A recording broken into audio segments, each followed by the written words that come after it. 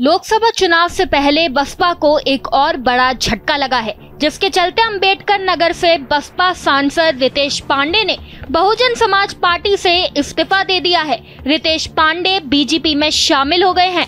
बता दें कि बहुजन समाज पार्टी के लोकसभा सांसद रितेश पांडे ने इस साल बजट सत्र के दौरान पीएम मोदी के साथ संसद भवन की कैंटीन में लंच किया था, जिसके चलते आज सांसद रितेश पांडे ने बसपा की प्राथमिक सदस्यता से इस्तीफा दे दिया और थोड़ी देर बाद ही बीजेपी में शामिल हो गए। बता दें कि रितेश पांडे के बीजेपी में शामिल होने के बाद ये कयास लगाए जा रहे हैं कि भाजपा उन्हें अंबेडकर नगर से सांसदी का टिकट दे सकते हैं।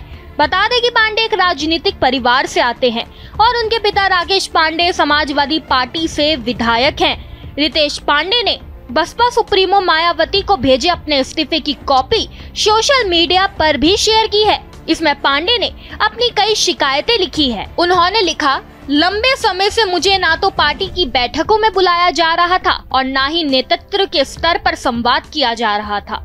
मैंने आपसे तथा शीर्ष पदाधिकारियों से संपर्क करने के लिए, भेंट करने के अंगिनत प्रयास किए, लेकिन कोई हल नहीं निकला। इस दौरान मैं अपने क्षेत्र में लोगों से और पार्टी कार्यकर्ताओं से लगातार मिलता रहा। मैं इस निष्कर्ष पर पहुँचा हूँ कि पार्टी को मेरी सेवा और उपस्थिति की अब कोई ज़रूरत नहीं है। इसलिए मेरे पास पार्टी से इस्तीफा देने के अलावा कोई विकल्प नहीं है। बता दें कि इस्तीफा आते ही मायावती ने इस पर प्रतिक्रिया दी।